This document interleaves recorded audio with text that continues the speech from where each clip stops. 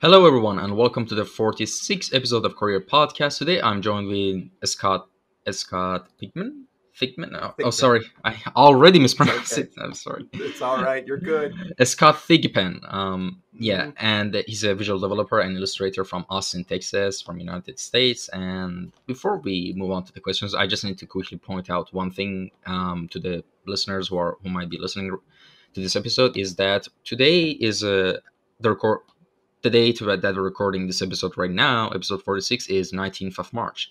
And as a lot of you might know, or if you haven't known, that's the reason I'm trying to remind, is that the 14th of March was the anniversary of the podcast. And because of that, I started a Photoshop course giveaway that is still is you, you can still enter and you have like two days. You there's two days remaining. On the 6 p.m. plus 3 GMT, I'm going to announce the winner of the results on March 21st. And so, I mean, there's still a chance if you haven't still entered and you wanted to, or if there's someone else or friend who might be interested, uh, you can check the post or in the Instagram of the Kouryer Podcast page. And with all of that out of the way, let's get to the questions. All right, first question. Um, give us a little introduction on how you got into visual arts and design. Sure. Uh, just like probably every other artist, uh, when I was a kid, I picked up pencil and paper and loved it, uh, and drew my heart out all the time. And then I went to college. I, I did not go to college for for art, um, and uh, I was sort of went another direction. And after college, uh, I, I was just miserable and wanted to um, move into.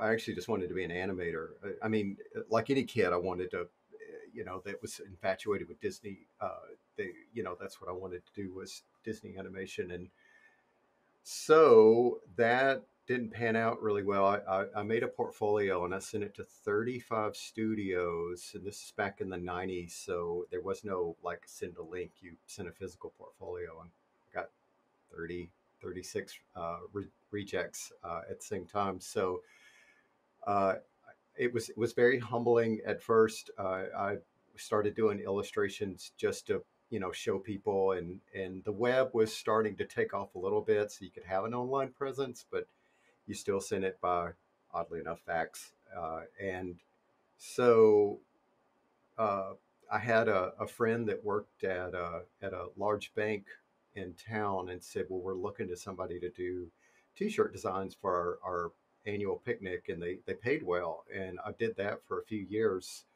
uh, doing their T-shirt designs, and then that became a whisper to another client that came to another client, and over time, I just sort of built. I mean, it was a lot of hard work, but it, it you know, I sort of built a word of mouth that I did illustrations, and so I did that for for quite some time, um, and uh, it was that it, it, it was interesting and and just uh you know I, I felt like I was just tripping through uh, time into the next job to the next one. So that's kind of how that went. All right. And um, actually, funny enough, I one of the things that I really love about uh, in one of the fields of design and fashion design is I love t-shirt design, like designing a merch design, a special t-shirt design. Like that's one of my main things. And like, yeah, it's it's such a limited canvas, like you know, as you could say, like t-shirts, but there's so much you know creativity and possibilities in just design of stuff for it. You know, they're Mhm. really cool. And um, were you originally studying art and design, or you were pursuing another career path? Let's say when I assume when your high school is finished, or you were going to college, or maybe after Mhm. college. Like, how was the journey for you in that regard? Wild. Uh, so um, academically, I'm terrible. Like I, I barely eked by in in all academic classes.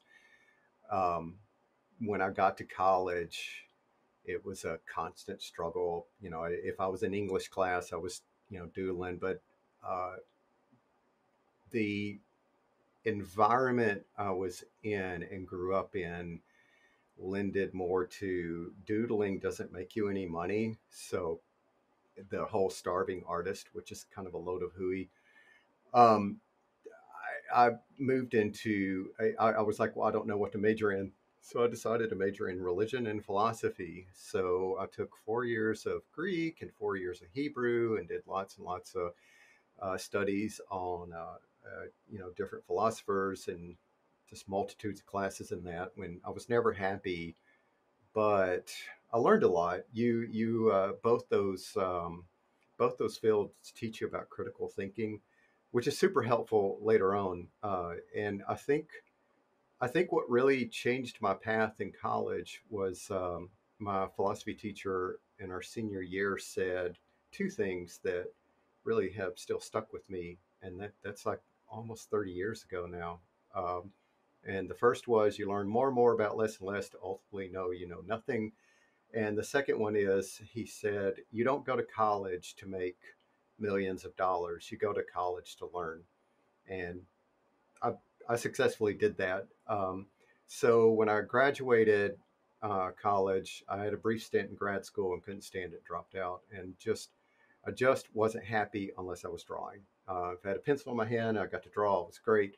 Uh, if I did anything else, which I did a ton of monotonous uh, dead end jobs uh, to keep afloat, it, I, um, you know, I, I, wasn't I wasn't happy or fulfilled. But I don't know anybody that's happy or fulfilled in a dead end job to begin with. But um, it uh, it it was it college just was a, a, good time of learning, but it wasn't after that until I realized you know there's some practical applications uh, to art and how to how to actually make money at it or be you know be fi- funded by your own own craft and love. So uh, so college had a pretty pivotal point for learning not so much for art. Any elective I could take at college. I took an art class, but it wasn't until afterwards I got really serious. So kind of got started a little later on that.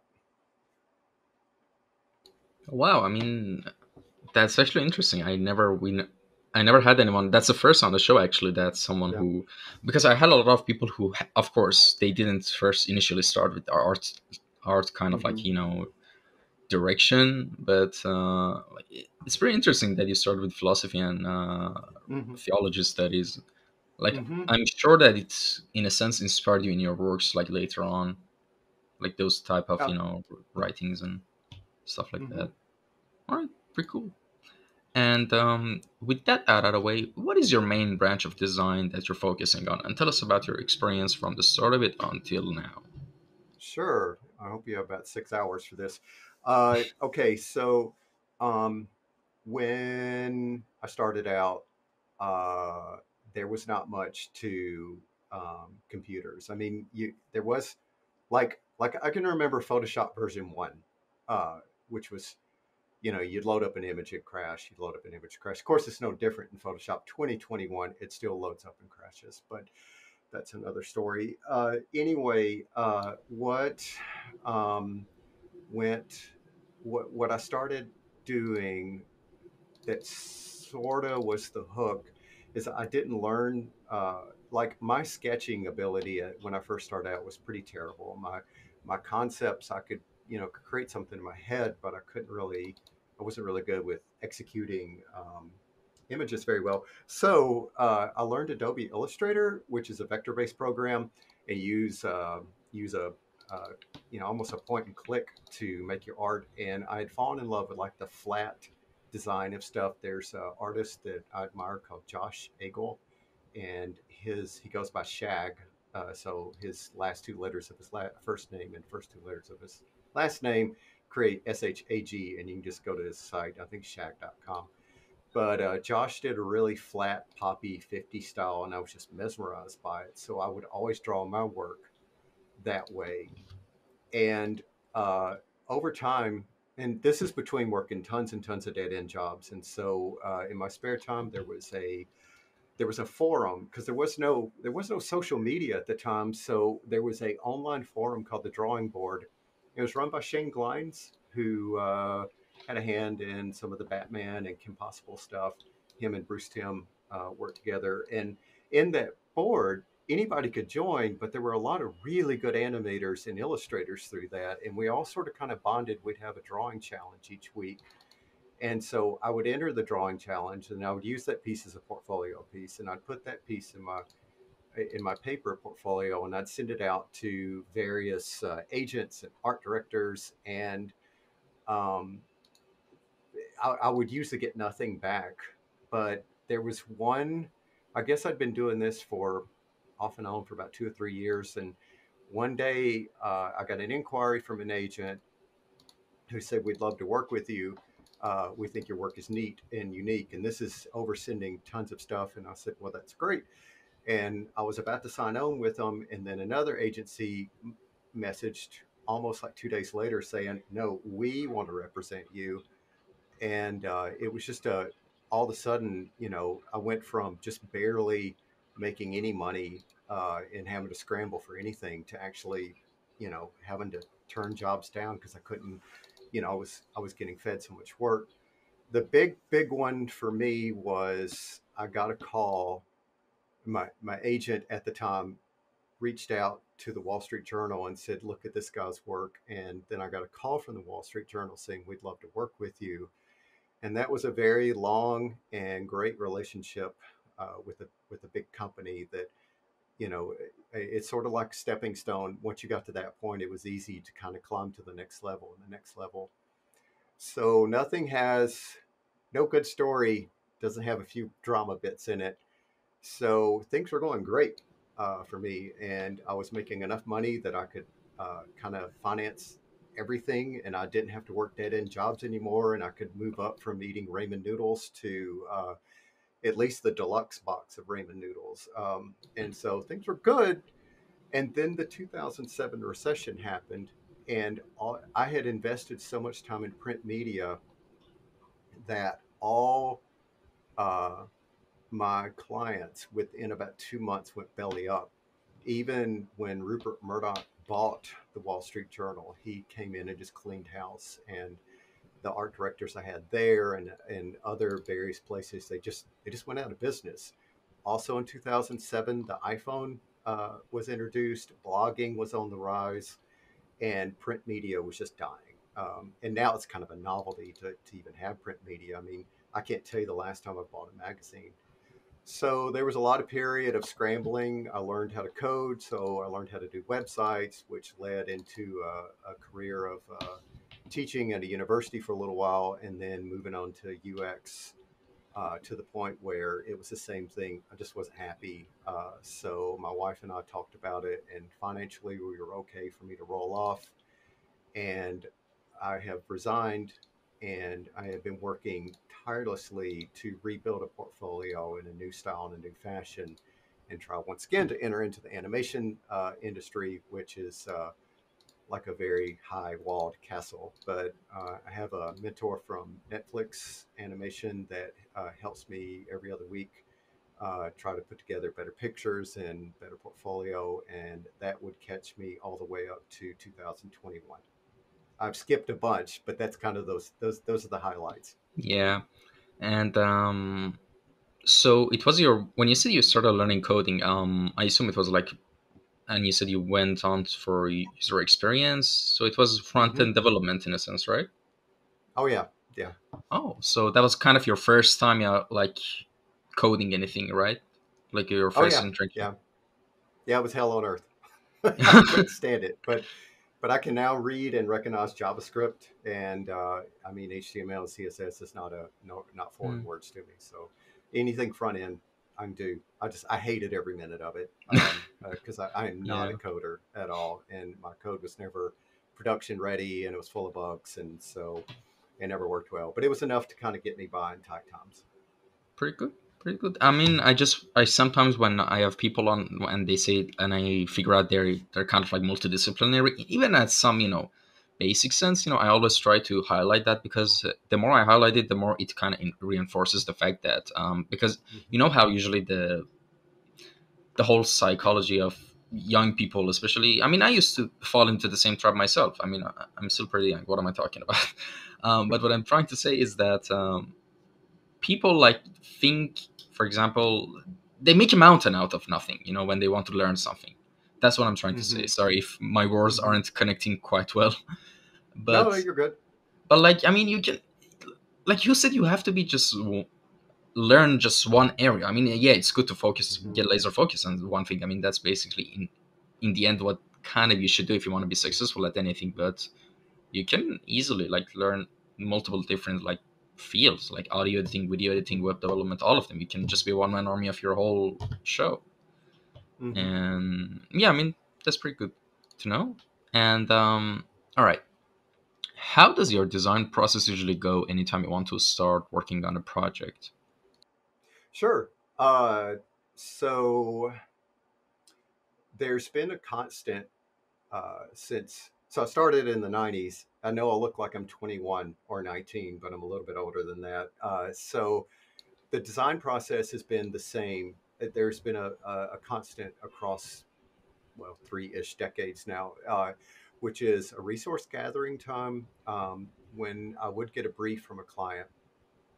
Uh, like one time, Atlanta, I used to live in Atlanta, Georgia, and uh, the Atlanta magazine said, "Hey, we want you to do a cover. It's uh, it's for finding love in the town, and this is pre uh, dating apps. So uh, there was ways you could kind of meet people online, but it was still kind of creepy and well, hell, it's creepy and weird now. But I mean, it's less creepy and weird. But anyway, uh, they they said, "Can you come up with some concepts for a cover for that on how to meet people online?" And I said, "Sure, yeah." So uh, since the dawn of any search engine, that has been my, my best friend uh, to be able to pull resources and um, you know you you just you look over tons of stuff for that, and then once I kind of have a mood board done, uh, I'll you know it used to be you'd print them out and kind of uh, you know tack them up on a wall, but now I actually have an app that I use that uh, that I just put all my images uh, to a second screen and I'll look at it and I try to write down some keywords of what I see. Um, you know, obviously I'll look at the brief and it says, uh, uh, you know, it says we we're looking for something bright and poppy and we need it funny. Then I'll look at actually what what makes funny colors. You know, what what makes people what would make people giggle. Uh, lots and lots of bad puns and tons and tons of stuff just into a virtual garbage can. I mean, uh, there's you know there's things that sound so great and then it doesn't work or uh, this would be a great concept but i get to draw on it and it doesn't work. So lots of stuff thrown in the garbage. And then after the resource gathering i'll do a series of thumbnails sometimes really lazy and i'll just pick one or two but i try to stick to 50 uh, per project. Um, i'm not really worried about uh, doing things over and over. I'm just i mean it's just kind of been habit but i'll pick around 50 uh, or I'll draw around 50 uh, for one concept and then I'll look at it and see what appeals to me. If it's for me, I kind of just pick one and stick with it. If it's for a client, uh, I usually deliver three uh, rough drafts and say, this is my this is where my head's at. This is what I think it's going to look like, and then I get feedback from a client, and we go through a, a revision period, and then after that, it's just put on some good music and put your head down to the screen and turn try to turn Wi-Fi off and leave social media alone and uh, and work. Uh, but the harder part has always been the idea phase and the resource gathering. Um, just because you, it's kind of like you know a book with no words and you got to write it, you know, fill it up. It's just it's tough. Uh, and, uh, but that that does help because once you do have all your resource gathered, you're able to um, you're able to kind of see a bigger picture and you can have those aha moments um, or i call them shower thoughts you know you've looked mm-hmm. at something so long and you're taking a shower and going oh i could totally do that um, and then you know the idea is there so that's the way i look at it is a lot of a lot of resource a lot of resource gathering and then the thumbnail period and then the back and forth with the client or, or yourself and then just the execution which is just work a lot of a lot of clicking and, and drawing. Yep, that sums it up pretty well. And mm-hmm. um, all right, next question. Um, now in this section of the podcast, I want to ask you about some of your works in particular, and maybe some sure. other miscellaneous stuff about your works. Um, so okay. one thing that caught my eye on your Instagram profile was um, well, first sentence in your bio, I can always tell when movies use fake dinosaurs. Like, I mean, yes. it's, it's really fun. Like, it, it completely portrays like a part a main part of your personality i guess and i think in a review of someone from wall street journal and kind of mentioned your um, sense of humor and stuff like that Mm-hmm. so it's good to know and also all right now the main thing i want to ask clients include wall street journal dreamworks and conde nast if i if i don't Condé Nast. yeah conde Um, nast they're they're uh, well, actually, they own Reddit now, Hmm. but uh, for the longest time, they were just a magazine publisher. all right and could you tell us a bit about the, your experience working with these companies Sure. Uh, so, the Wall Street Journal, most awesome time I've ever had. Uh, would it? I think all the art directors are gone that I worked with at the time. That it was, it was always a big rush, uh, like to the point where it was so much fun. Uh, they would usually call in a panic around four, and they're like, "Hey, listen, we have this concept we need to have it approved by five. Can you get us three sketches in an hour? And I would dive into it, and um, and then they would at about five o'clock they'd have a meeting. We'd be back and forth, and then they would say, "Okay, do this one, and we need it by eight in the morning because we got to go to print by nine." And so it was, you know, uh, how much coffee can I drink? And it was an all nighter to pull it up. It was always so much fun. Um, and uh, I, it, I ended up making a lot of friends that way uh, through that, and uh, and it just yeah, that one was rush. The big one was uh, DreamWorks, and uh, most specifically Shrek. So every time I say that, people will uh, put in their own implications. Like I was this big hot shot that worked, you know, danced around with Eddie Murphy and Mike Myers, which is not the case. So uh, here's the better story to getting to work for the big green ogre. Um, in the 90s, uh, that drawing board place I mentioned, uh, all of us would get together and everybody was fairly, I mean, there was a few people that were like lowly uh, production assistants at like Nickelodeon or the Muppets. And, uh, you know, you would, uh, some people were uh, you know, trying to get into like their own illustration group or or trying to become animators. I mean, everybody was really fresh and green. But I made a lot of friends that way. Like it was my only art friends at the time. And so uh, that was like 97, 98. Uh, and, you know, you it, just like anywhere on any social media or any groups, you get to become closer friends with some people. And there was a guy named John that, uh, said, you know, hey, I love your work, uh, and man, I hope we can work together in the future sometime. And I was like, sure, yeah, you know, I, I love, uh, you know, bouncing ideas off with you and well as well. And so a few years later, he called and said, hey, you remember me? I said, yeah. And he said, well, I'm working at an agency. I own one, and there's a client of mine that uh, you, I, I'd love for you to do the overflow work because or they need an extra hand because they need somebody good with Adobe Illustrator. And I was like, oh, sure. Yeah, well, that's me. I know it backwards and forwards. And they said, well, it's an NDA. So I need you to sign it before we can tell you who the client is. And I was like, okay, sure. I'll not say a word. And it's like, well, it's DreamWorks and it's Shrek. So after I screamed and ran around the house and was dancing for joy, uh, here's the the part. It's still I still got to work for DreamWorks. I still got to work on Shrek. The part I was tasked with was help uh, like in the very first Shrek, where he's sitting on the toilet and he's flipping through the storybooks, and there's all the pages of the of the nursery rhymes on there. They needed extras for the interactive trivia game that went on to the DVD at the end of the movie. Back when DVDs would have like those fun little hokey games and stuff. So that's what I got to work on. I did get to go to LA. I was in Atlanta when I was when I got the job. I did get to go to LA. I did get to hang out with some people, but there was no. I mean, I was like a lowly peon in the lowest of low. low I mean, I didn't even get to go to the DreamWorks station. I had to work at or the the their headquarters. I worked at a where like at their studio, and then they would send the files over to get the game ready. Uh, but after I finished the job, I was like, so I do get to say I worked for DreamWorks, and they're like, yep. And I was like, and Shrek, and they're like, yep. I was like, okay, sure, I'll take it. Uh, so that was a that was fun. It was it was a lot of fun. Uh, it's just that it was not it, it wasn't as like I always look at like animators. They just kind of hop on their little cloud and they they float to work where they all kind of sing together and they're happy and have a good time. I'm sure that is not the case uh, whatsoever, and it was not for me either. It was like you know go into a room with a bunch of cubicles and sit down and do your work and uh, put on some headphones and tune out everybody for eight hours. Um, the uh, uh, Condé Nast. So Condé Nast ran uh, tons of magazines like Modern Bride and Teen Magazine, uh, Vogue, Marie Claire, and at the time I was doing little spot illustrations for uh, various small magazines that wanted me to do their horoscopes. Like you know, it'd be like you're gonna you're Scorpio and this is going to be your month to find love, blah, blah, blah. And I would do these little ones.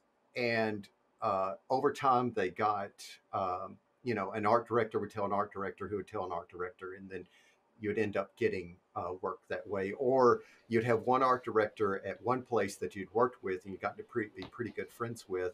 And then they'd move to a bigger firm and they would just take all the artists with them. And that that's the way I would do with that magazines were my favorite of all time because it usually took a month to do.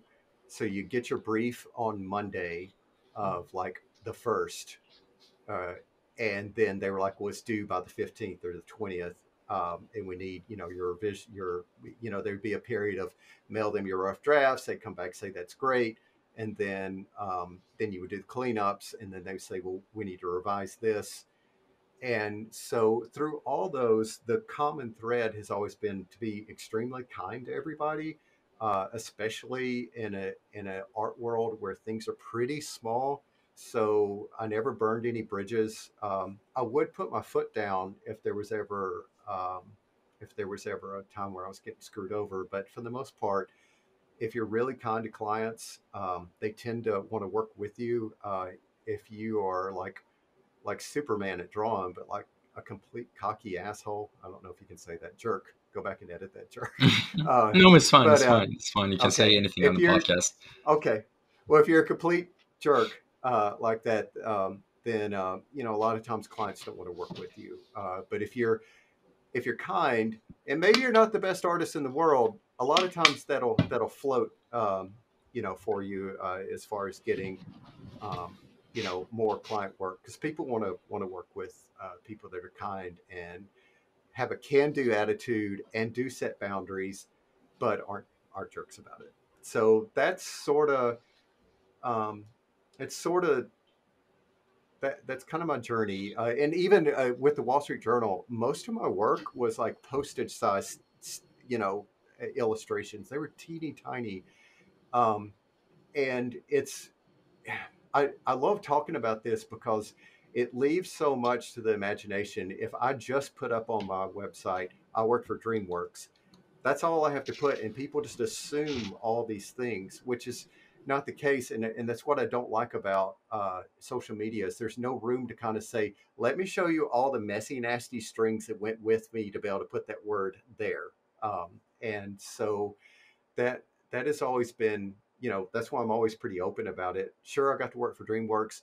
I didn't even get my name in the credits, uh, and it was probably one of the lowliest jobs ever, but I loved every minute of it. And the big thing is, is I treated it, I treated every job, whether it was small or large, like it was. Uh, I would try to give it, you know, the as much good and and help that I could, uh, or or emotion that I could pour into something uh, within reason. So, um, you know, if I, would always said if I actually ever do get to animate on a feature or a TV show, even if I get the lowliest TV show and I'm working like on on a prop that's a haystack, I'll make it the best haystack ever. So that's the way I kind of look at it. So that's what those the big clients are, and it's the same. I worked with Coke, Coca Cola. I was a sketch artist. I would actually go in, and then when they were having their idea phase, I would sit and sketch and kind of hand them so they'd have a visual um, and uh, agencies would call for like Toyota and Snapple, and so again, it would be like Toyota was like, we need some uh, diagrams to to show. Uh, I, I, did a lot of lifestyle works, like show a woman and a man getting ready to buy a car, and you know, we need this to be able to for our designers to use as a visual. Uh, Snapple was they said, hey, we we want to do some risque pictures of a, of a Snapple bottle and and you know people doing not weird stuff, but just uh, like Snapple was trying to be the uh, Red Bull at the time. They, mm-hmm. This is before Red Bull was Red Bull, um, and that would lead to there's a there's a pantyhose company called Spanx here, which is like hmm. form fitting pantyhose, and uh, it, it's a big it's a big deal. Like the lady that did it, um, she started with like nothing, and now it's like an empire that she has, and and uh, so I got to do you know they at, at first when they're trying to get their stuff off the ground, I got to you know have a hand in, in developing uh, those things. So that's where the clients are,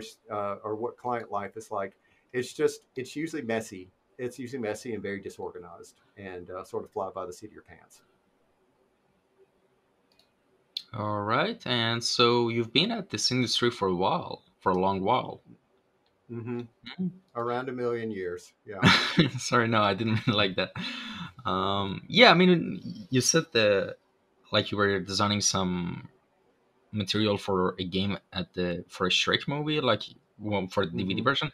Like I remember, I it was I think around the time I was like six seven years old because I remember when we used to buy DVDs, it had like mm-hmm. those menus you could change subtitles and all that. You know, yeah, they had extra content and feature before mm-hmm.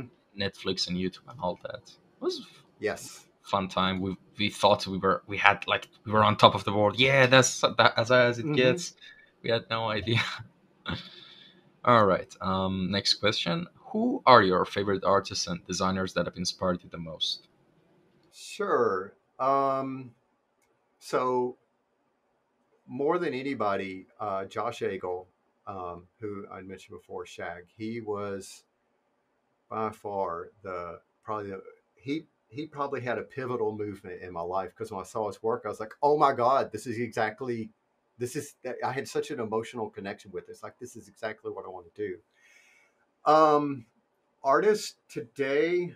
Um, pull up my favorites right quick because you know there's always a million.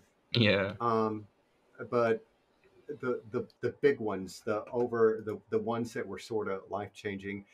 So Glenn Keane was a big one. That's that's everybody's right. Uh, and then there was another guy that was working on Disney at the same time that Glenn was, uh, and I I hope I get his name right, Andre Deha he was responsible for always drawing the skinny guy in all Disney movies, like Timon and uh, and the Jester from Hunchback.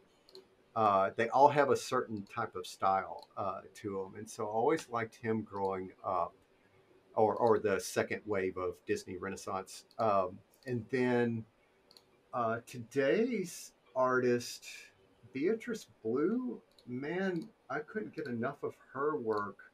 Um, she's gorgeous. And also, oh, uh, Glenn Brogan and Ragnar um, are uh, three that, and I can send you links to them too. But mm-hmm. they are, um, they were very influential uh, when I first started, and uh, the now it just there's, God, there's just so many. I guess one that sort of stands out more than any. I just took a workshop under him was Chris Abel's uh, and Chris's work is he has such a definitive style and, and look and feeling. So uh, that's been a big one. Uh, and then I think, like, if I start naming off a ton of people, I'll just go down a rabbit hole. But I'm just going to flip through real quick just to make sure. Yeah, no, no worries, no problem. um, uh, the other one that I can't get enough of his work when he posts, and he posts often. Is uh, Adam Murphy, uh, mm-hmm. and uh, his work is is just super. And then uh, one, I love her work. I don't have as much of emotional connection, but I do with with her as a person. Is Lois, um, who uh, I've never seen somebody that has an enormous amount of followers and people that uh, message her all the time, and she takes the time to respond to almost everybody. So, I mean, I sent her a pretty long email just asking her some questions about how and what and how can I do this. And she actually wrote back um, a, a, fairly lengthy email, and it was it was quite nice. Um, and the other one, uh, the last one is Amanda Jolly, who's uh, well, she's with Netflix now. She's uh, she's kind of bounced all over the place. Um, her work I've always just had such a huge emotional connection with. Again, just her exaggerated features and her character designs. Uh, but she is another one that you know here's a big top dog that or top you know top feeder fish, however you want to put that, uh, the best words for that. And you know, I reached out to her and just said, "Hey, could I ask you a few questions?" Primarily on age, because uh, she had started in the industry a little bit older, um, and uh, she was more than happy to to chat with me and uh, and it was it was really nice because it's really uh, intimidating to reach out to people because you you think oh these big people don't have anything to uh, to say to lowly on me. But in the end we're all just people. We put on our pants the same way one leg at a time. So uh, it's just yeah i mean it's it's not I, I, mean everybody's the same. Yeah. some people may have a god complex but so that's um those those are probably my bigger influences uh, are those guys. Mm-hmm. Yeah, I mean that's actually a pretty interesting thing you pointed out that um like it could be also the reverse effect of that. You know, as you said, like some people have gone complexes, some people also have this uh, kind of subconscious feeling that oh, this artist is like not just with artists, like even celebrities or even internet, uh, you know, basic popular, famous people, you know, and mm-hmm. uh, but like as you said, all of us are the same. Like you know, the, the, like, like he, the thing that matters is the human connection and what i'm i know i sound really vague but i'm just going to give an example you know to clear it out. I don't i don't know what is wrong with me today actually because i feel like my sentences don't form very well. Um like when i started the podcast um i had really bad confidence issues. I was like oh i'm such a small page. I mean why i, I I wasn't I wasn't even confident to message people even with like two three k followers. I don't even know why at that time I would care if someone has four hundred thousand. But I mean, you know how the society and everything is. You know, I just subconsciously I couldn't help it. You know, but then mm-hmm. I, I, was like, you know, I just started like you know messaging people and think I was like, what's the worst that's gonna happen? You just shoot your shot, and um. Mm-hmm. And it's weird. First, I started uh, for to work on my confidence in that sense. I started like messaging like people with two to three k followers. Then it got higher and higher, and someone with like mm-hmm. twenty five thousand followers. I think a really like very famous like shoe designer for Adidas, and like I'm not gonna mention his name, but he basically um, at the time told me that your following is too low and views and stuff like that, and that's the reason I'm kind of, which you know that kind of um, messed with me for a while, yeah. but but then I started like um, and by the way, that was like I think yeah the first that yeah that was the first time that it ever happened that directly, you know, mm-hmm. that kind of experience. Um, but then as I got more confident, I just started messaging anyone, regardless of their like following and like some mm-hmm. big names in the art scene. Like you know, I would I would just DM them like with four hundred thousand count, and he would just message me like quickly, say, "Hey, what's going on? Hey, I'm sorry, my schedule's too." stuff like that. Or um, mm-hmm. yeah, actually, I got some very special people lined up for the month of March, um, which I'm really excited oh, cool. to. Which I would have never, or uh, for a second I was going to drop an F bomb. I would have never freaking thought that, you know, I could ever be able to, you know, get them on my podcast. And well, here we are. And yeah, I mean, just as you, you might be surprised that even a, a lot of these huge artists and, you know, influencers and content creators, if you just message them, uh, like there's a high chance you're going to get a response back, you know? If like, yep. and those kind of people, it's so obvious that they love what they do that they even dedicate time to you know respond to they just love to be active in their field. I mean, that's the main thing. Like, for example, a very good example is, is Gary Vaynerchuk. I mean, he's not an artist, quote unquote, but like he's very famous on going on different people's podcasts. Uh, like I check mm-hmm. a lot of his like appearances for when he talks about NFT and all, and all of that. He like he went on this guy's podcast, which he had like twenty subscribers, and you know like it, when there when there's passion involved like people just are ready to collaborate you know? You, you just need to mm-hmm. just shoot your shot and see what happens and yeah. I mean, that's sorry for everyone who it was a bit confusing. It just sounded like random bullshit motivational quotes but i mean um yeah. All right. All right next question. What is the main subject of your artworks and what made them interesting to you um, ask that again. I just want to make sure I'm right, interpreting right. Um, what is the main subject of your artworks and what made them interesting to you? And by artwork, I don't mean necessarily the works you're commissioned because I mean the subjects are already you know Mm-hmm. specified, but uh, Mhm. when it comes to your own personal projects. Uh, so, um, boy, I there, I, I really like. I was trying to figure out what. Uh, I'm trying to give a more concrete answer than the one I want to give. I really like having a lot of fun in my art. I, I guess, and, and I like being, like, so. Um, I, I guess a good way to put it is I like I like trying to put a pun in my artwork, uh, like the bad dad jokes into uh, art. And I guess the way I look at it, when I was a child um, in the '80s, uh, the Muppets were huge. Um, like it, that that was like I mean, it just kind of took everything by storm. The Muppet Show, show and Fraggle Rock and uh, Dark Crystal and um, Labyrinth uh, those were things I, I, you know, I just couldn't get enough of. And especially the Muppets, there was always a bad pun. Uh, there was always, and, and also uh, Jim Henson said that a lot of times they would write their jokes into a corner and they didn't have a gag to get it out or anything. So their answer was just to like blow a chicken out of a cannon, and that would be the punchline. Because how do you not laugh at a chicken being fired out of a cannon? Anyway, so uh, as um, as time went on, uh, another big one that was a huge influence in my life that got to I'll get to back to art in a minute was um, I was uh, at a uh, a big camping outing and uh, somebody had uh, their radio there and they were blaring something I'd never heard before and I was like what is that and they're like well it's a new group called Run DMC and they're singing with an old group called Aerosmith, and they've remade the song "Walk This Way," and I couldn't get enough of it, so I bought Run DMC's cassette tape and probably listened to it till it completely wore out. Um, and the not the puns, but the cleverness and the wittiness, they put into their raps carried has carried on all the way till now in just different forms and i've always gone that is so clever uh, it, whether it's a pun or just a good riff on something. So I try to put that in my artwork a lot of times. Like what's what's what's a funny story, a little bit of a quirk, or a little bit of a of a humorous moment or some levity that I can put into stuff, whether it's a facial feature or a gesture.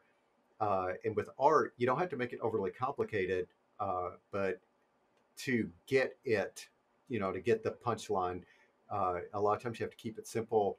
So I try to put that playfulness into my art a lot of times. Uh, I don't tend to go moody. I do every so often, but mainly my stuff is just fun. Um, and so when I'm drawing for myself, I, I love, uh, I've always loved really strong women and not like, you know, muscular, although that's great too. But like for some reason, when I was a kid, uh, one of the first things that I ever kind of was, you know, something that turned on, you know, a light switch that turned on to me was uh, the story of Helen Keller. And I couldn't get enough that, you know, this woman was blind and deaf and still went on to just kick much ass through uh, through the world, um, you know. Uh, and so there was stuff like that. Harriet Tubman, Tubman, and Rosa Parks were, you know, uh, the, just to see women who should just kind of roll over or were expected to roll over turned around and just were like no uh, and they put their foot down and uh, you know amelia earhart susan b. Anthony uh, all these are you know american icons but just these people that just uh, were resilient. So i've always loved that uh, type of persona. So i try to put that into my work. And i don't sometimes I do, but I don't try to oversex uh, women in my art. I try to just give them tough, you know, personas, uh, and and that has always been a, a favorite of mine uh, to do. But you know, mainly people. I really really enjoy people. I don't mind drawing animals at all, but I, I like people more because it's more of a challenge to me. and uh, and something fun or whimsical and uh, you know magical.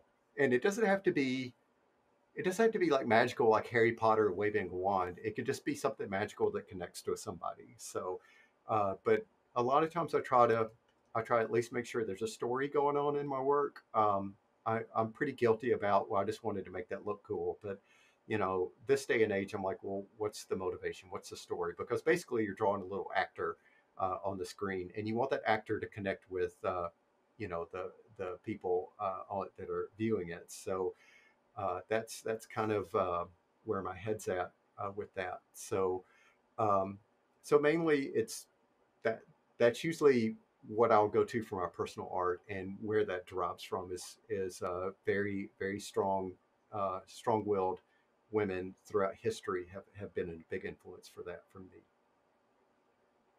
All right. Yeah, I mean, I kind of, I kind of see what you mean about that. Um, actually, for me, um, since like I was like 10, 11, I used to, like, basically, woman in, I used to read a lot of history. I was a history geek, and like reading mm-hmm. about, like, I think you mentioned Emily Reinhardt was her name, the the female oh, pilot that tried to Earhart, travel. Yeah. yeah, Earhart. Sorry, why did I say. Reinhardt is an mm-hmm. Overwatch character. I don't know why did I say that. Yeah.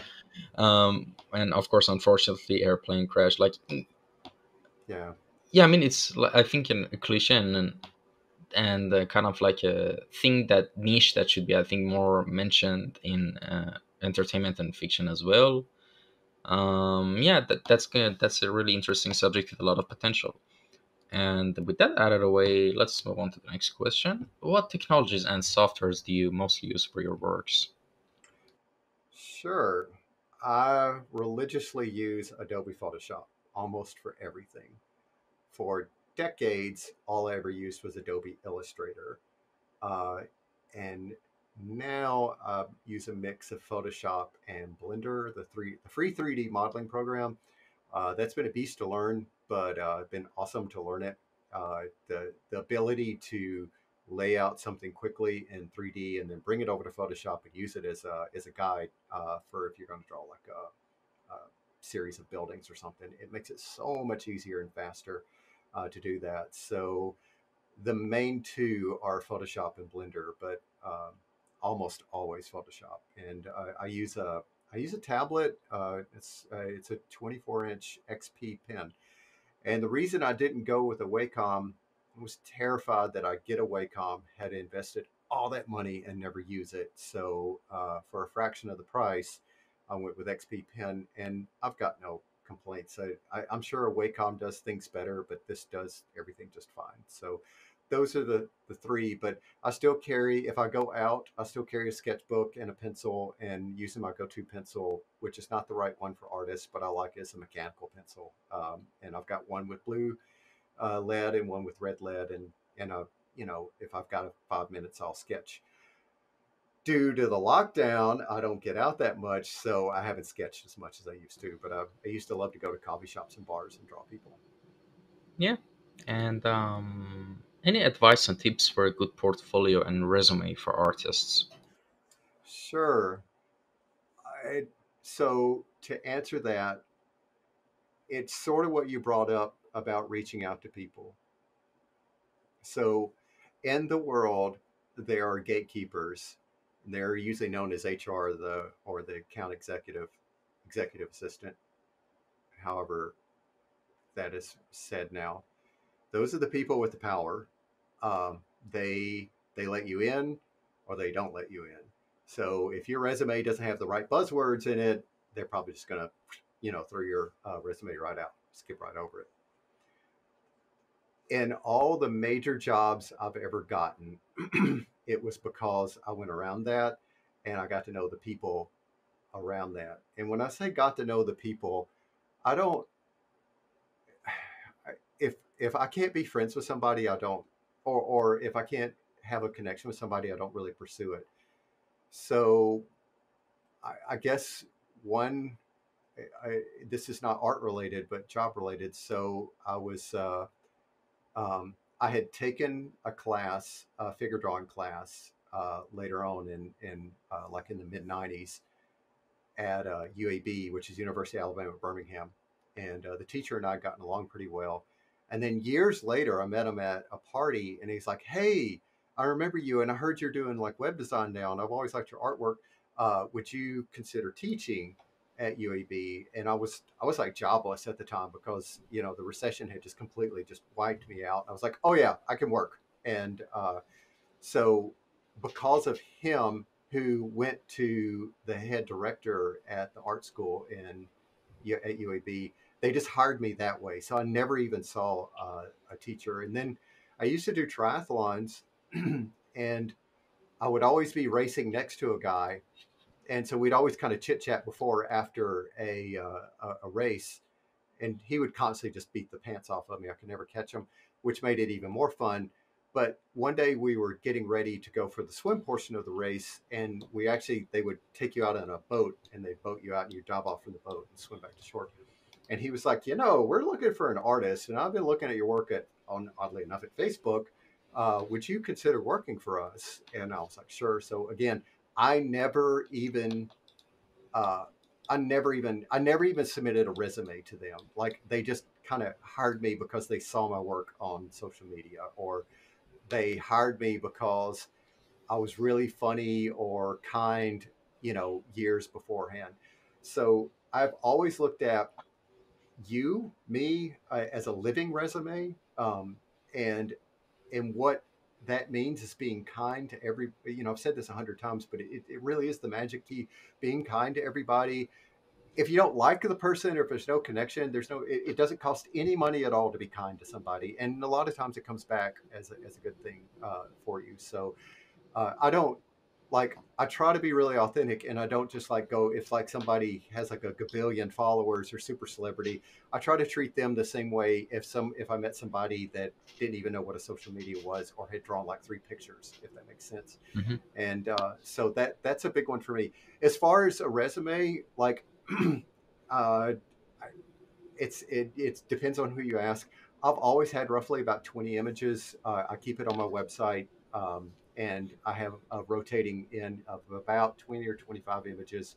You can see them all there. They're kind of you know archived, but for the most part, I just want uh, somebody to be able to look at it, distinguish. Yes, we'd like to work with this person. No, we don't, and move on. So I think 20 gives enough people to kind of glance and see your work and if they want to see more, you know, they can click to see more.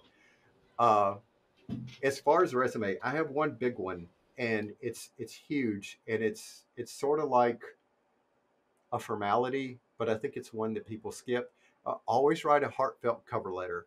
I don't write.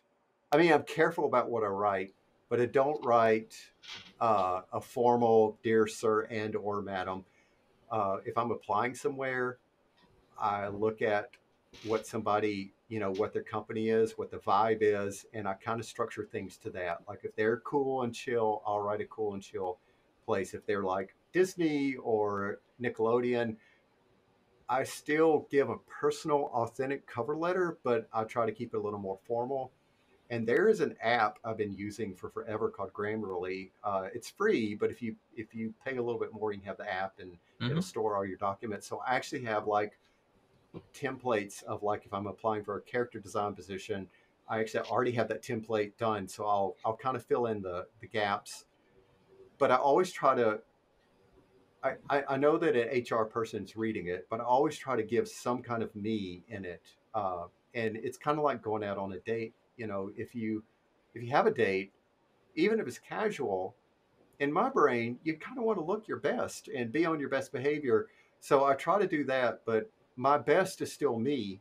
Um, it's just I make sure that you know dress nice and whatever. So that that's what I try to pull into the cover letter. But like I said, I truly believe a living resume, and also uh, as far as Instagram and uh, and a few other social media accounts I use, I try to be open and like so. If a recruiter sees me, they see who I am and uh, go, oh, I'd love to work with this person, or go, eh, you know, maybe not. And so, you know, uh, I'm very open about um, my feelings, and also because uh, a little bit older now, you know, uh, that is one that kind of eats at you a little bit. So I'm really open about that, and I talk about age and and uh, working with Gen Z and millennials, which was weird because when I started, they were either non-existent or one or two. Uh, but uh, most of most of the people I've worked with, the art directors, are are now you know a good 15 years younger than me, which is fine. And again, I treat them like people, and they have always treated me like a people. So it, it's always been kind of good. But I guess the two big ones are your living resume, how you present yourself uh, on social media can sometimes make or break your job, and always write a cover letter. I, it, it just it amazes me when people don't. Uh, so I always try to. I mean, it is kind of a pain in the ass to have to write them, but it also it, it helps reflect you and why you want a job uh, at said place. Yeah, I mean, I actually loved what you said about like in a nutshell. In if I could, yeah, basically, if I want to wrap everything you said in a nutshell, is the word authenticity. And um, I mean, mm-hmm. uh, like to add to that, I want to also mention that I I know it's good to always be formal. I mean, that's like the safest thing to do trying to mm-hmm.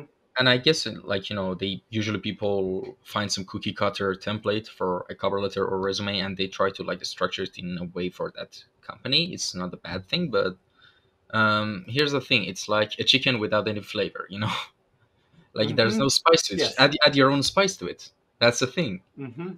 yes definitely and um, all right, let's move on to the next question. What are you working on right now that you can tell us about? What kind of project is it? Sure, man. Wow, that's a great one. So um, currently, uh, again, to be completely open and transparent, I don't have uh, clients. Um, I'm in a very, very good spot uh, in life that my wife and I can let me work on building a portfolio. There is a podcast put on by FZD School. And of course, I can't remember the guy's name, and I feel terrible about that. But my friend uh, recommended me to listen to it, and I can send you the specific links to them. Um, in the podcast, uh, it's a guy that works for Star Wars um, the concept, and he was talking about what goes into a concept portfolio.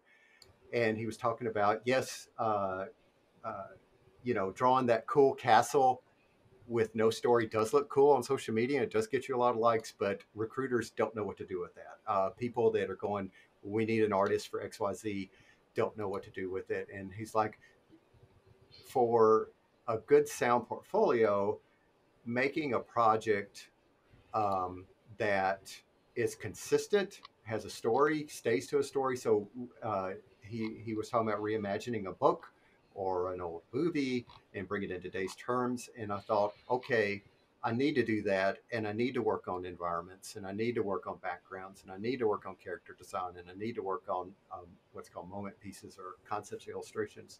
How can I do all this? And I was like, well, I'll pick a movie. Well, so e- it's easy to like pick Lord of the Rings because you get everything right.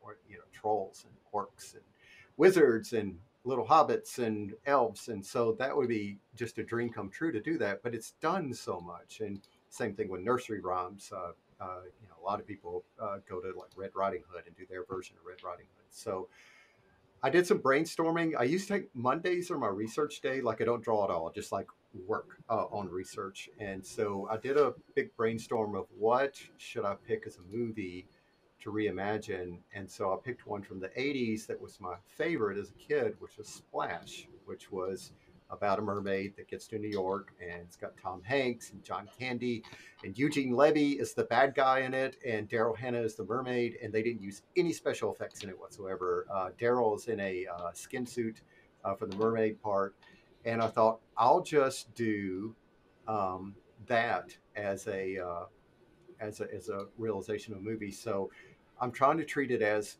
I got asked to do everything the character design, the props, the backgrounds. Uh, and so I take each week and I do four uh, pieces from it a week. So, like uh, today was to, to draw character concepts of what the Tom Hanks character will look like. Next week, I'll work on the uh, Daryl Hannah character.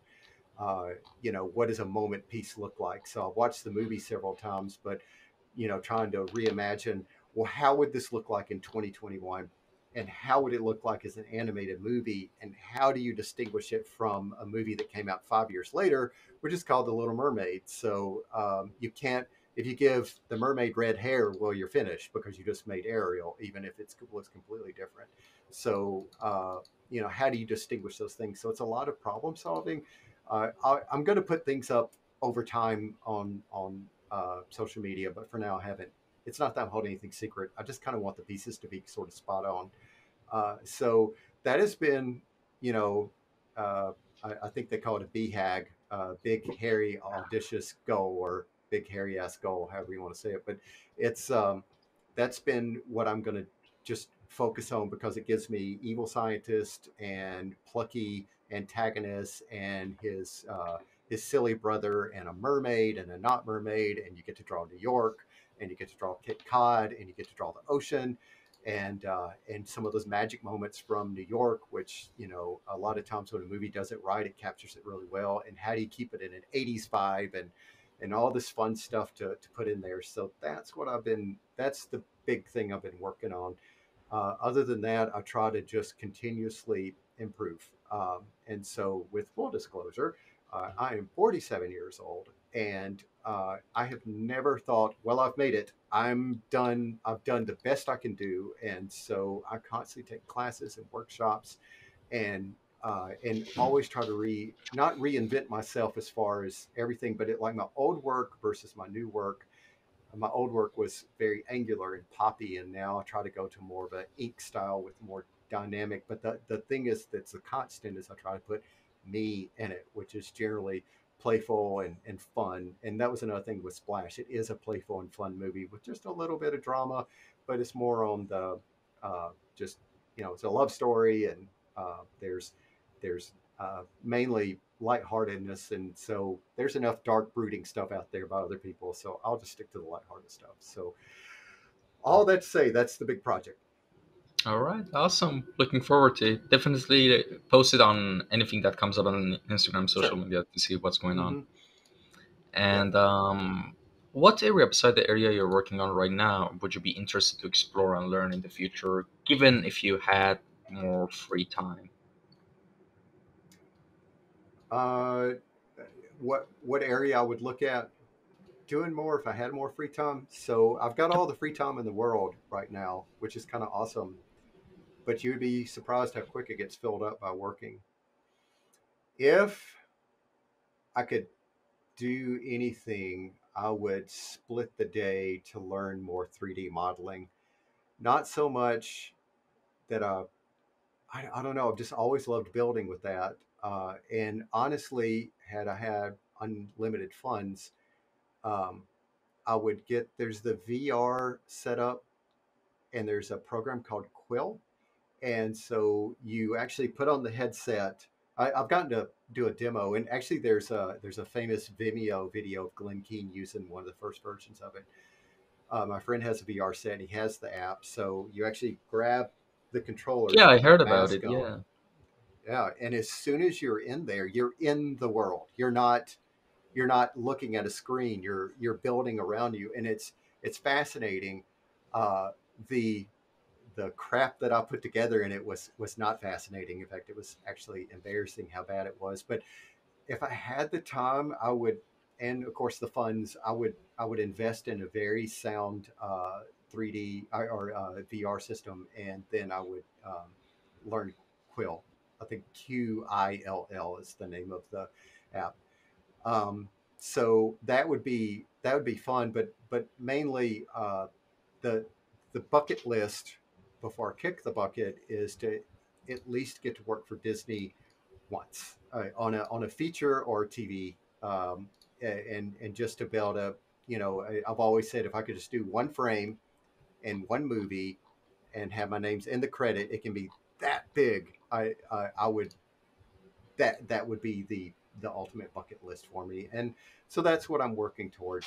Uh, I've got a little time as far as unlimited free time, and then then after that, I, will probably go back into uh, if I if I don't do that, I'll move into a more of a creative design position, which it's always been kind of a fallback. But uh, currently, we're okay to for me to to do that. So um, most of my life is spent in Photoshop all day long, and learning 3D or getting better at it. But it, the ability to have VR and, and develop like augmented reality and, and build worlds within a, a 3D environment because I think we'll move once mm-hmm. they kind of improve uh, VR. I think we'll all have like little goggles that we'll have on, and screens will kind of go away, which actually Yeah. probably wouldn't be a bad thing for energy use. But um, I think we'll we'll get to that point. We're not there yet, but um, once Apple probably cashes in on VR, it'll probably you know it's just sort of like everything that when Apple builds it. You know, I'm not trying to fanboy out, but when they build it, that's when the critical mass comes. So Mm. um, we'll see. Um, so so yeah, that's that's the long version of that question for you. Yeah, awesome. And actually, um, I think another guest that I had on also mentioned the Quill program, and like and a, a good Mhm. example they told me. Uh, I thought they, yeah, I think they said that blew my mind. Like you know, that made me realize, wow, the possibilities that is available is that, for example, you could design a spaceship Mhm. in 3D, and you expand it, Mhm. and you can Yes. design the interiors. That Mhm. that's just so amazing. Oh yeah. Yep. Yeah, I think we'll get there. We're not there yet, but I, I think Mhm. that'll just be probably, you know, story driven, interactive, virtual reality environments, and and uh, you know that it that would be very exciting to get to to design. Mm-hmm. All right. Now, um, with everything that's been said and done on the, in this episode, to conclude all we discussed, give us a roadmap for someone who's zero in visual arts and design and wanted to get to the place you are in terms of skill set. Like, um, basically, give us a roadmap step by step. What books, courses, Okay. anything that could come to your mind. Yeah. So um, I fall prey to what book, what brush, what program, and it. I'm gonna go a different route, but I'm gotta pull up a quote to do it. I should have had this beforehand, but.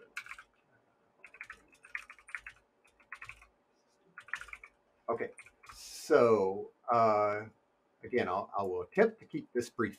So um, I am average as average comes. I, I there's nothing superhuman about me or anything, and I, I say that because uh, when about eight years ago now, um, I did uh, a famous mountain bike race, which starts in Canada and ends in Mexico, and uh, it's three thousand miles across the continent Wow. divide. And it's not it's not road. You're on trails and backwoods, and there's bears and there's shifty looking people, and it is a race. You don't have help. Uh, nobody gives you a hand. Uh, nobody is there to hand you water. If your tire flattens out in the middle of the woods, well, you're responsible for it. And uh, um, I always wanted to do it. And at the time, I was, you know, I, I had no business even being on a bicycle. I, I'd ridden a bike when I was a kid. And so the short version is I trained and trained, and then I flew up to Banff and I raced, and I got fourth place out of 180 people, well, fourth in my division. And, uh, and there's 180 people that raced that year, and like hardly, I mean, half the field quit, and that was from people all over the world that I raced against. And before that, you know, like I, I couldn't even get up a hill, whereas this race was like climbing Mount Everest seven times uh, the height. I think it's 200,000 feet of elevation across like the Colorado mountains and the and the uh, the Canada mountains. And again, I can't stress enough. There's bears that would love to eat you uh, on there, and they're really weird, shifty characters that don't want to have anything to do with you uh, while you're riding your bike through their little tiny towns. So I look at art that way, um, just less physical. So the longer thing is, is that uh, since I was at zero with a bike, and this is what you're asking about somebody that's starting from zero, um, I was like, well, okay, so it's 3,000 miles or uh, the, the 2,743 miles. If I'm rounding up, there's 3,000 miles in this race. How am I going to do it? Well, the first thing I got to be able to do is ride really long on a bike. I got around 15 miles on my first training day and about passed out.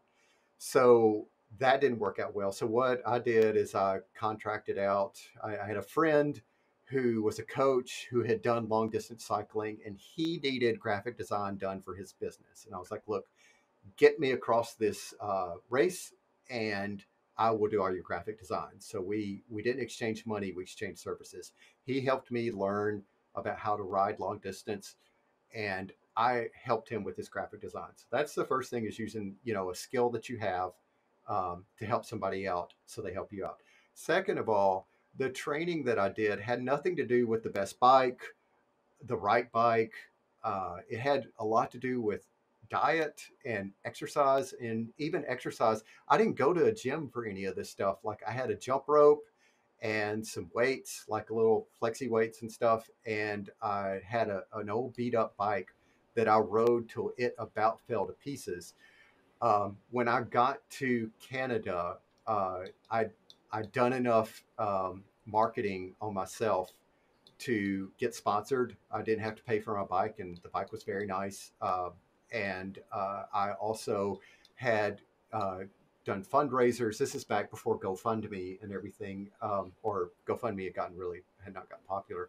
I kept a blog uh, and a diary of everything I was doing every day. I would post. Well, I'd post about four days a week, but I always was very open about all my training. And I didn't say, "Look at me, I'm the best cyclist." I was like, "Here's what I learned. Here's what I did. Here's what I gained." And over it, you would learn about the best bike part not like the flashiest bike part or the coolest bike part, just like, oh, this will help me, you know, get up. This gives me a mechanical advantage for climbing up mountains and stuff. So let's go all the way back to art. Um, it's the same thing. The best pencil or the best brush is the one you use. Uh, and I, I would, I, I, mean, certainly, sure, there's, I, I've got a hundred Photoshop brushes and I've got course after course you can take, but it's really the one you take and stick with. Um, so if you are going to learn uh, visual design, find uh, a mentor or somebody that is reasonable and do your research heavily on this person or this this school of thought and stick with it. Uh, if eh, you know if you're going to keep a social media presence and you're at zero, don't like post something and get pissed off because it got like one like and that was your mother um, who accidentally liked it and then unliked it later and then unfollowed you. I don't. The way you should start is day one. I posted this. It's crap, but here's what I learned. And then day two, I posted this. It's crap. Here's what I learned. Uh, there is a girl, a lady, a lady. Um, let me find her that I just absolutely love seeing her stuff. So her uh, her name is Valerie Riker. Uh, she is under uh, Instagram as valerie.draws.daily. Uh, and she draws daily and she writes about what she's doing, what she's learning, uh, how transparent and open it is that she is. And if you watch her progress over time, you just you you've just seen like this evolution. And so she's fascinating to watch. I did it for a while uh, on Instagram. Actually, I did it for like two years. I would post daily, but um, it got to the point where it was just it was wasn't serving me anymore. But as far as a course, um, the the best thing that I've ever learned is uh, drawing forms correctly in 3D perspective. Um, the ability to draw a sphere and a cylinder and a cone and a box and um, and bend them in 3D space has been more valuable than anything else I've ever learned.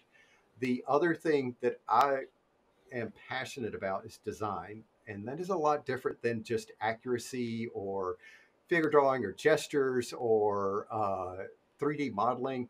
Design to me is like the heart and uh, what connects to somebody.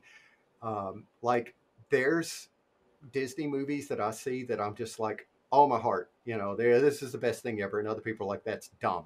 But to that person, they see something and they connect to. So, but the thing is, if you don't put your heart in it, you can tell a lot of times with movies that just kind of were copycats or uh, like the big one is like I have like fallen in love with TikTok. It is so freaking fun to go and see little pigs uh, running around and puppies and kittens, and it's very positive. And I never seen politics, and it's wonderful for my brain. Um, but uh, I did notice that over time there's a lot of copycats on TikTok, and so they're doing it just to get the likes, um, and people can smell that a mile away. So, um, you know, for design, learning design is hard, uh, and starting with that, um, there's people that that do teach or have Gumroads uh, that you can do for strictly design. The one that I like the most is Ty Carter. Um, his Gumroad account, his Patreon account are really good, and then Loish uh, for design is uh, her Patreon. She's five dollars a month, and like every month, she just kind of gives away the farm. Like she's literally spilling out everything that she knows, does, and just gives it away for well for five dollars a month. You get all that. On top of that, you can ask her a question and she'll respond to it. Uh, so those people uh, for design to me just make it where you know you, when I look at Loish's work, I'm just like, oh my god, you know, like I just want to live in that world. Uh, and same thing with Ty. Ty knows how to. There's a lot of tricks about like uh, learning big, medium, and small and stuff. And once you see it, you see it. The other big one, if you're going to go in visual design, is studying movies. And I'm, I do not mean just like sitting and going, oh, yeah, look at that. Uh, like actually going shot by shot and looking at what makes a movie a movie.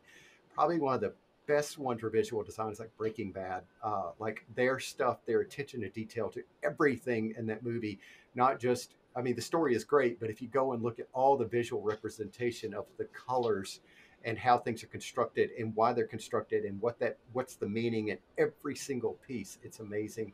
Uh, so those are, if you want to go the design route, that you know, I would I would pick up going uh, through uh, you know like studying visual design and what that means and composition and, and color and color theory.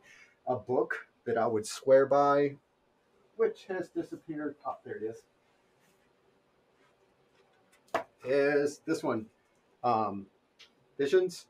Um, All right. And color and composition. It's yep. It's by Hans, H A N S, mm-hmm. Bacher, B A C H E R. And uh, that book should be required reading for everybody. And you can usually, it's expensive as all get out. So on uh, Amazon, but if you go to a used bookstore, it's like not expensive at all. So that would be where I'd start. But I mean, mainly don't look at it as art. Look at it as you're training a skill. And it really, you know, if if the only pencil you have is like a number two lead pencil, just use the hell out of it, you know, and and learn that.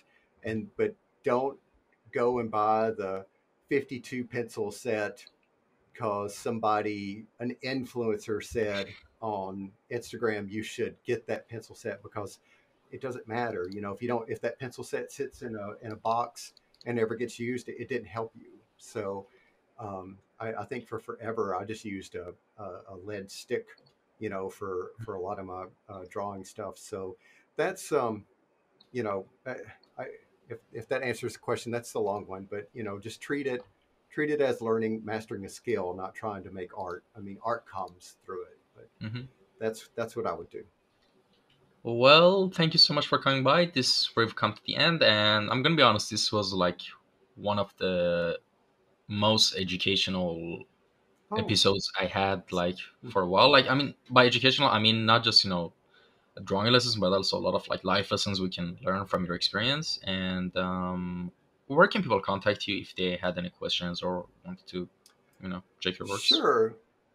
Um, I try to keep things consistent mm-hmm. across the board. So basically, if you just go to a browser and type in uh, thig, so S T is in Tom, H is in hello, I is in igloo, G is in girl, dot art, uh, that will um, that will get you there. Or you can just type in my name. Uh, it, there's like two or three of us, but I usually come up to the top. But Scott and Thigpen, and that'll get you anywhere. But Instagram's what I use a lot. TikTok's what I love. And oh, before I forget, you were talking about life's things. So this is one quote that I live by, and um, I, I, meant to say this and got distracted. no uh, problem. Cal- Calvin Coolidge. Um, so somebody sent me this quote back in the '90s when I was trying to get started, and I have I have had this in my brain since since then, which is nothing in the world can take the place of persistence. Talent will mm-hmm. not. Nothing is more common than unsuccessful men with talent. Genius will not. Unrewarded genius is almost a proverb. And education will not. The world is full of educated derelicts persistence and determination uh, alone are omnipotent. And there's a lot of, you can argue a lot of that, but the thing is, you can be smart and just kind of sit around with your arms folded, and that's not going to get you anywhere. And you can, um, you can have talent, but if you don't do anything with it, uh, it, it, doesn't mean anything. And the same thing with um, the other one, uh, genius. You know, I, I, know lots and lots of super smart people uh, that just don't, and educated people that don't do anything with their stuff. So, yep. being persistent you know, even when you're through your follies and stuff, it's good. So I wanted to get that one in. But yeah, sthig.art uh, gets me, gets you anywhere, or just my name, Scott Thigpen, will usually I'll come up as, uh, as the Google search. All right. Well, that's about it, everyone who, ladies and gentlemen who listen to this episode, thank you all so much, and we'll see you in the next episode. Have a good day. Bye. Bye.